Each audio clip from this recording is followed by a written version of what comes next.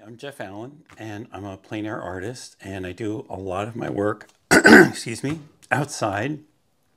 And uh, I feel like for you, every anyone taking a workshop from me, they have to have the some essential things that will make the the experience um, a good experience. And so I just wanted to go over what those are. And I, first off, I do want to say uh, what I like about plein air is that I think it puts you in the tourist traveler state of mind. And uh, I think that's, it's like a drug for me. Like I feel like if I go too long and I don't do it, I, get, I can get a little um, go through withdrawals.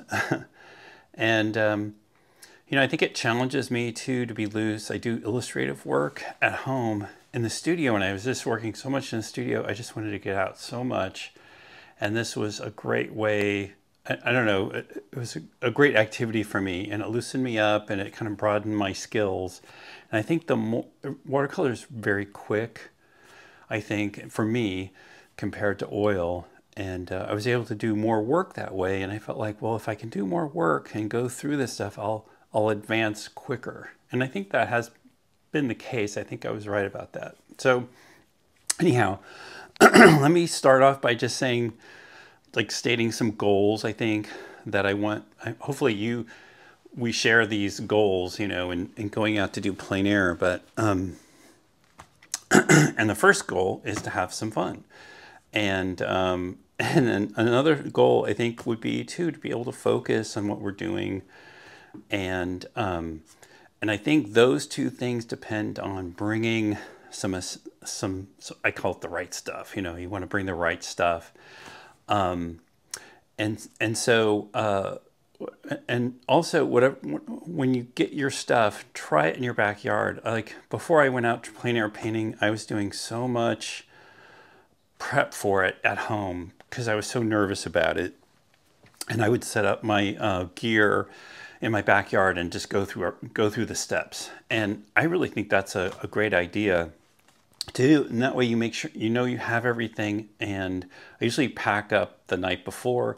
I guess that's a very Boy Scout, Girl Scout kind of thing to do, but it works and you end up with the right things. Um, so, uh, okay, so let's just get started. The questions you have to ask yourself, and it's sort of a why in the road, I think, in terms of preparing for your setup. We'll call it the plein air setup. And it's just all the things you're going to bring so that you'll be comfortable outside and you'll be able to get to everything. Um, and that is, are you going to stand up or are you going to sit down? Okay, so standing up entails you're going to need a tripod. I have a my tripod right back here it's it gets pretty high and I'm a tall guy and so I need that so I'm not stooping down. So, you know, if you're getting a tripod, you know, it's best if you can to actually um, physically like test them out that way or, or at least, uh, you know, on the specs it'll say like how high the tripod is and so you can go, oh yeah, that'll work for me.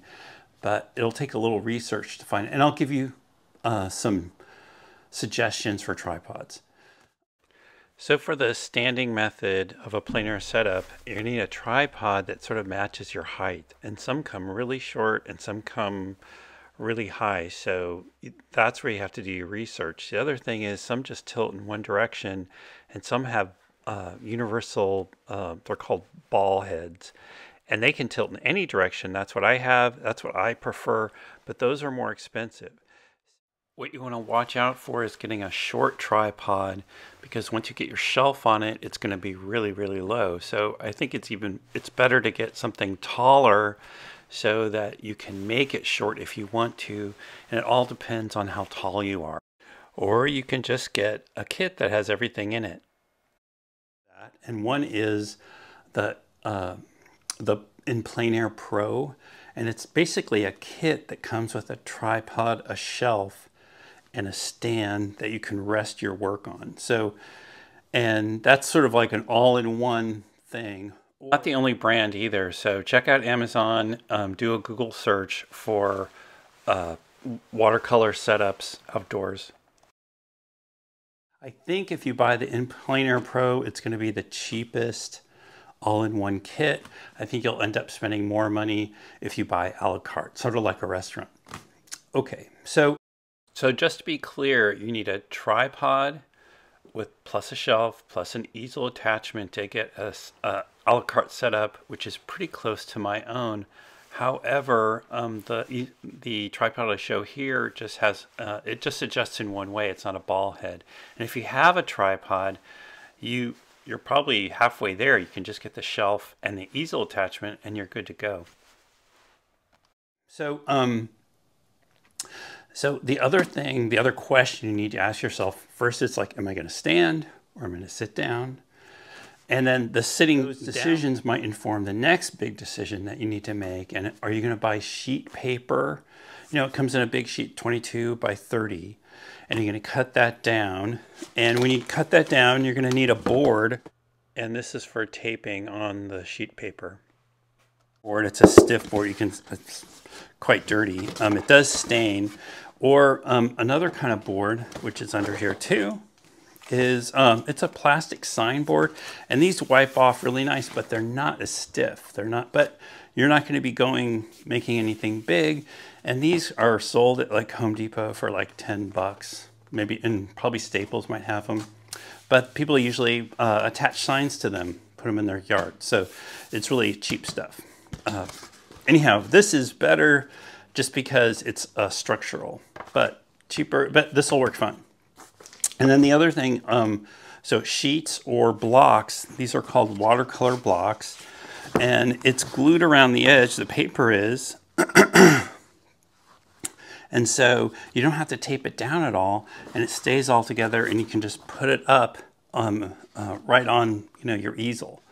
So um, there's two ways of doing it. I do the taped way, so but um, this way is fine. Um, I would say I would get the most, Ar Ar Arches is pretty good, great quality, so is Saunders, Waterford. Um, but Winsor makes a paper, that's great. Uh, a, lot, a lot of the good paper makers make a block. And I would just say get, this is 10 by 14, and I think this would be a good size for you for our class because it'll be it'll be enough room that you can get a sky in and other things. And you, of course, you can go larger. This is a 16 by 12 or 12 by 16, so this is fine too. But don't get anything smaller because we're going to be doing some washes, and I, and I want to show you how to do washes, and this will really do well. So, but I wore okay. Well, here I have some uh, I'm not sure. This is Fabriano. Oh, that's another good brand, Fabriano.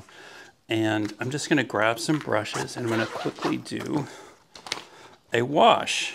I'm going to show you two brushes. And these brushes I asked you to get. So you should have them. And I'm just going to check. Yeah, this is in focus because I want you to get a close-up view of this. I have some water here. And I'm just going to mix some color here really quick. And usually I meant to have this taped up, but um, I'm just gonna hold it. And this is a pretty small piece of paper. So I'm making a little mixture here. Um, we'll put a little carmine in there. Oh yeah, brighten it up. I want you to be able to see this. So I'm gonna do like a little test here with these two brushes. And I want you to look at this. I think you can see that okay over here. I'm just gonna, I'm gonna scoop up the as much moisture. This is called a quill mop and it's a goat hair. They come in synthetic. Um, they all work great, but they function like a shovel to get water up on your thing. And we're doing watercolor and you need the water to do certain things. It mixes paper, it creates soft edges, it does all this magical stuff. And so you need this to get it on that paper. Okay, I'm gonna squeeze this. I just wanna show you how much water comes out, like quite a bit. Not that all that's gonna come out when you're, um, when you're actually painting, but it'll, it'll deliver a lot of water to your paper. And then this brush, one, two. So I got two drops, maybe three. I think something came out before. Okay, so um, so if you show up with this and you're trying to cover, you know, a larger piece of paper, it's it's going to be you're not it's not going to happen. You're not going to use enough water. So I want you to get at least one, if not two, and you can get a couple different sizes. You know, you can get a big one or a smaller one. Um, and as, as I said, they're synthetic. But here I'm just going to get this, sop this up again. Okay, now we're just going to talk about paper. And this is Fabriano paper. I know this is Arches. Maybe this is Arches paper. Okay. And I think it's cold press, and I want you guys to get rough if I didn't say that. And what's why rough paper? Well, it has more of a texture to it, and I think it it um, the way I want you to mix paint and learn how to mix paint, I think it's going to um, mix paint on the canvas. I think it's going to um, uh, behoove you to get rough. And but this, which is called cold press, it's sort of the medium texture. It's fine as well. Okay, so I'm going to put this on here really quick. I'm just going to try and do it down here so maybe this camera can pick up what this is seeing. But so all this is this uh, formation of this, uh, I call this a bead down below here. And as I shovel this on, you can see the water isn't sinking into the paper. It's sort of sliding down the paper and it's accumulating down here. And that's the sign of a good paper. Now, if it sucks into the paper, well, that's no fun because now we can't mix. Like here, I'm just gonna grab another color this is a turquoise, a light turquoise. I'm just going to put it right underneath here. And you're going to see this uh, magenta sort of fall into, you know, it's sort of mixing in a sense. And maybe I can even put, grab some more of this magenta and put, it, put another. But I'm mixing the colors. The water's doing it for me. The water's doing all the work. So, and that only happens when you have a good paper. And also, like if I want to take a thicker paint and put some thicker paint into it, well, it's staying wet because the water's on the surface. It's kind of being held. And so I can do that because of this paper is, is, is a good quality. So, okay, so that's, so that's very important. I hope that illustrates the necessity of you spending a little bit more. Let's just go into brushes. Or actually, I have my palette out here. We could talk about palettes really quick. So this one I, I do recommend, um, or one like this. Like you can get something close to this in a plastic version. I mean, there's several, I mean, these, I'm not sure how, this I think is like 24 bucks and this might be, it could be about the same. And when you're standing or even sitting, you might want to hold this and apply it to your um, uh, your, bo your board, your, your artwork. But say if you have your, if you're sitting and you have something on your side, on your lap, you're going to need this to be sitting somewhere off to the side, say, to, to work with this. And that's what I mean. You have to sort of figure that out ahead of time, which one you're doing. And, and hopefully the pictures I show you of people painting sitting down, you'll see that they have something next to them that they're um, their palette sitting on or their brushes or their water. So you have something that, um, so you can have your painting on your lap. And you can combine them too. You know, you can have a tripod in front of you with an easel and be sitting down. That's fine as well. Uh, okay, so uh, I recommend something like this um, or this, and this is another type. And this closes down, as you can see, and sort of it's, it's like uh, watertight. Um, okay, so colors are listed. I don't think I'm going to go into um, the colors because they're they're on um, the supply list. But usually I just start off warm, as you can kind of see, and kind of go into the cooler ones, and then I have some fun dark ones over here. And uh, you know what I wanted to do too is just go quickly go through the colors on my palette that you see that I was using. And uh, I know it's not exactly like the supply list, so I thought I should do that. Uh, titanium white, uh, Jaune Brillant number one, which is basically like a yellow mixed with a white. Um, I have yellow ochre, which is, you know, if you had uh, raw sienna, that would be, that would, they're interchangeable just about. I have a cad yellow, uh, a a Pyrrole Orange, a Cad Red, Alizarin Crimson, and Permanent. You know, it's a little bit different color. It's more permanent, as the name says, and uh, so I sort of switched to that. Uh, burnt Sienna, um, Ultramarine Blue. Those two, if I mix them together, and Cobalt, I get sort of a gray. So I have them close. I use them quite often, so they're the easiest for me to reach. And then I have a Teal Blue after the cobalt blue, or a, a, cobalt teal, sorry, cerulean blue, a verditer blue, which is basically sort of a cobalt with a white. And again, a lot of times these are convenience colors. Like I can grab it instead of mixing it. Um, okay, after that, lavender, uh, phthalo blue, cobalt violet, cobalt turquoise, uh, Van Dyke brown, Payne's gray, and neutral tint. Another big thing, I guess what we could talk about too is how do you get um, this is how my device for carrying everything around with me. And I have, um, uh, this is the Pochade box I made, but it holds paper and it's the board I paint on and it attaches, um, it's my shelf as well. It comes apart and it has a shelf. And so it does a whole lot of things um, all at once for me.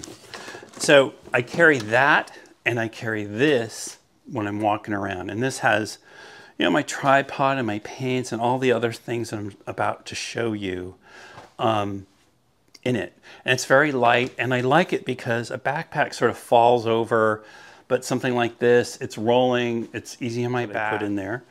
Um, my brushes, you don't have to have this many brushes. So what I'd like you to show up with is a, at least this combination.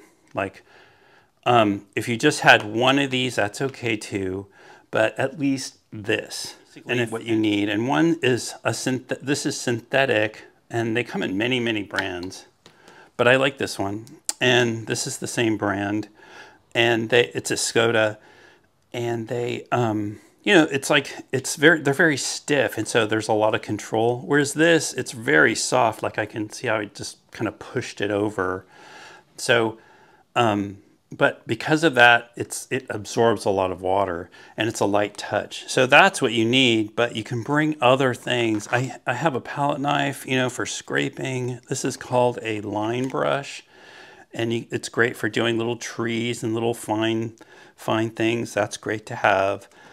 Um, I have different brushes for different things. I have a really, really tiny brush and this brush isn't for little detail, it's actually for like sort of scraping paint on, really thick paint. And as we go on with a painting, say you start with this, lots of water, and as you get into more and more detail, it's sort of, it's sort of like the paint gets thicker and there's less water and you use these things. Okay, so that's brushes. And you can see I have a holder and if you spend any money on your brushes, if you spend a lot, you might want, it's a good idea to get some kind of holder. And this is another um, way of carrying them that's a little bit cheaper. They stick in here and this rolls up. And it's, it's anything to keep the bristles from getting something up against them and pushing on them. That's, that's what you want to avoid. Okay, so let's put that aside, our brushes. And I sort of talked about the palette, so we don't need to talk about that. Um, colors were okay on pencil paper. Like I have a little bag, this goes up in the top here. And um, I have a couple, you know, clips if the wind's blowing and I want to clip down my sketchbook, which is here. Um, like I can, you know, clip the pages down or, you know, they can end up being handy because you don't, you know, the weather, hopefully it'll be good, but you never know. So you bring a few things to help you get through weather. and let me see. And the pencils I use mostly are these two. And this is a 0.5 millimeter lead and mechanical pencil. And this pencil, and this is great for if I want to, you know, shade something in, it does it much more efficiently than this. This is sort of like if I want to do some finer detail, I'll switch to this.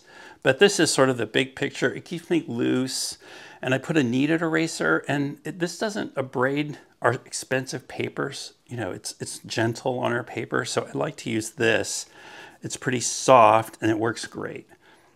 And I just put it on my pencil because now I know, I know where it's at.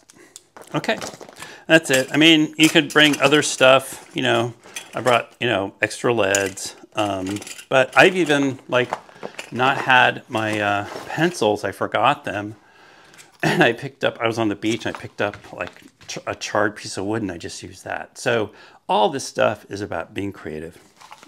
Okay, this is my water source for painting. And these are my, you know, I have a couple water cups, but like you can just take it something like this, um, a, um, a yogurt container and cut it like I did here and use that for cups. You don't have to spend money if you don't have to. And that's really the other thing. It's like, you know, everyone has to spend different amounts. I mean, um, and they have different intentions if they're going to they're planning on doing this for a long time and they're really excited about it, they might spend more. And if you're trying it out, maybe you can just, you know, you know, maybe I'd cut a few of these down instead of buying, spending, you know, 12 bucks on these. But these are these are collapsible, so they're great for fitting in something. And so I have two because I like, one gets dirty and I try and keep one clean. And I have a sponge in this and it's a sponge, I, a lot of times I, I'm painting and I got too much water on my brush and I just tap it here and it just takes a little water out. And sometimes I flick it, but this is like a something in the middle. So I have that sponge. And then here I have, it's another clean water source if my waters get too dirty. And a, you know, a mister, basically is what it's called. And this, uh, I just made this. It has some clips on the side and it sits on the side of my rig here you know, wind comes up and it blows your paper towels, and I don't like to go chasing that stuff. So, um, so that's why I have that. Tape, any size will do. I, I have thicker sizes, and this is, I think, like three quarter um, or so, or maybe it's five eighths. Um, and again, like you don't need it if you're doing the, um, the block. So I have a little spare paint um, in a, like a little Tupperware thing here. It's all my dregs just in case I run out of something. You know, watercolor doesn't, you don't use a ton of paint. Um, so just a little bit will get you by. So I have that.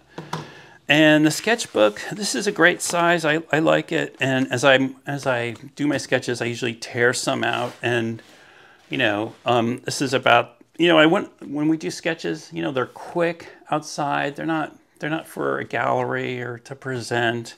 It's just for me to um, uh, figure out where I want to put things and how and and I guess to the format I want to do. So it helps me, my brain gives me time to figure things out. And when it gets windy, one thing I wanted to say too is bring some string or strap because um, sometimes I've tied my easel to this. This is stable and a lot of times if I have my water, this is weighted and it keeps your easel from blowing over if you're standing. So anyhow, so there you go. That's that's what I carry around. And here is a, uh, a cart that um, it, it, it actually functions as like a cart. You took your stuff around and a chair, and I see tons of people using these things. They come in all sorts of different shapes and sizes, and uh, they seem to work out great. Carry around, and then paper like um, you might, if you have a spare holder like this, or a couple pieces of cardboard with tape on the bottom, or, or some way of um, transporting your paper. So if you, it, um, you know, just so it doesn't fly away, which has happened to me before. It's like you work hours on a piece and uh, the wind takes it. You know, other odds and ends stuff. Um, let's see, would be like hat, uh, snacks, sunscreen. Um, and I think I've covered about everything. And so we'll probably go to questions. But um, remember to try the stuff out at home because that's when you'll go, oh, I don't have this. And you should try and figure out a way, whether you're sitting or you're standing, where everything's within reach. And I've had students like they throw their back out or you know, there's all these uh, uh, drama around stuff blowing away, and you know, so try and figure out how to um, keep it all together and within reach, you know, and hopefully the pictures I'm going to show kind of elaborate on why that's important. And I think, again, it's like you have fun and you can focus because you're not distracted by this, this, you know, the engineering of this work and stuff. So you can focus on the scene. So, okay, well, I hope you enjoyed that. And uh, I hope you take this workshop. Okay, thank you. I just wanted to plug um, an article that I wrote um, about my brushes that ended up in Realism Today online and American Watercolor online. And uh, I start off talking about um, my quill mops, and there's a hack there. And these are what you need. These are the water shovels you need to get water or your puddles up onto your paper to get it moist and give you time. And then next, I kind of covered um, the workhorses, they're sort of the medium-sized snappy brushes that you do a lot of your cutting around with. Um, and I list the, the different uh, brands in the article. These are used brushes. And the last one there is splayed. I push pins in it. You can kind of experiment around with those, and those are kind of fun. And lastly are sort of like the special things like a scraper, like short rounds, fan, uh, swords, liners, and soft brushes I use to make trees. And the last thing you is just a water bottle that I a clean water source. Well, that's it. Thank you for uh, watching this video. And if you need to get in contact with me, you can do it through my website, geoffallenart.com.